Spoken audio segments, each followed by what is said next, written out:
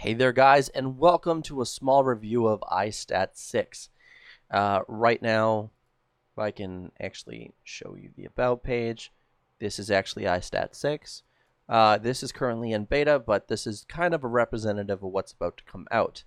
Now, compared to iStat um, 5, it's kind of had a visual overhaul with a global on and off button, notifications now, which is cool. Uh, we're on Mac OS, so I don't need to have that on. You have weather, which is a good addition, CPU, GPU, memory, disk, network, and all of the others. Okay? And you have to actually purchase uh, to use the weather thing. So I'm turning that off. So you're able to do all of this extra stuff, change everything the way that you want. You know, it's uh it's actually pretty cool. And the new UI is also pretty cool. Look at that. You can remove the borders to kind of have everything seamless. You can also have things purple, red, menu bar color. Um, you could have things set up differently. So you can style the light theme and the dark theme or light and dark, whatever you want. Fast, very slow for update frequencies. That means uh, the amount of time that this takes to update. And I kind of want to be able to show you that, but it's... Unfortunately, it goes to the other monitor. Ah, okay, give me a second.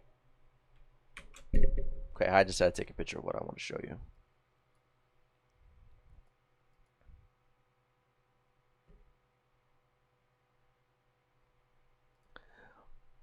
Okay. I know how to fix this. Arrangement. Close that out. Kill that.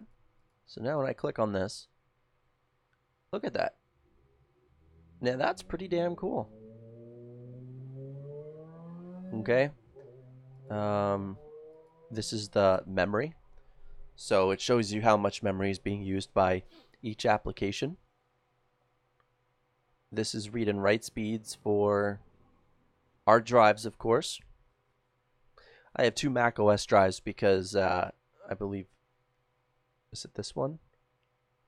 Yeah, this one is 128 gig. This is 10.12.6, and this one's 10.13. So it's showing you right now that I'm recording using about 512 kilobytes a second. Uh, the second one over is network. This one sensors, so it shows you the ambience of each and every die. And uh, I've got to admit, uh, this new layout is freaking amazing. The fact that it shows you so much.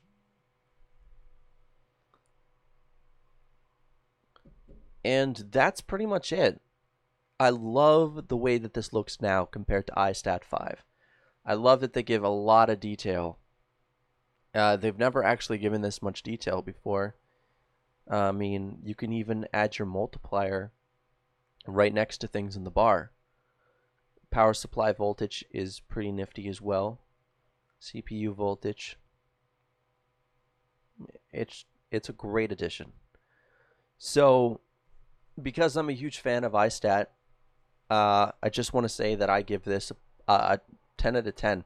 It's great, but unfortunately, that's what I would have said, okay, if I didn't find out first that this is a trial. That completely ruins everything. So, unfortunately, iStat gets a 9 out of 10 for this. Because honestly, we got this. We don't need that. We don't even need this. What's the point of this? Anyway, guys, iStat, you got to change some stuff about this, just real quick. Get rid of this or make this free. Get rid of this because we do not need this whatsoever because we have a notification bar that does the job. Okay. Other than that, thank you guys for watching. I hope you enjoyed the review. And the best part is, You can see the fonts. It's clear as day. Hint, hint, system monitor. Have a great day, guys. Don't forget to like the video and subscribe, and uh, I'll see you in the next one.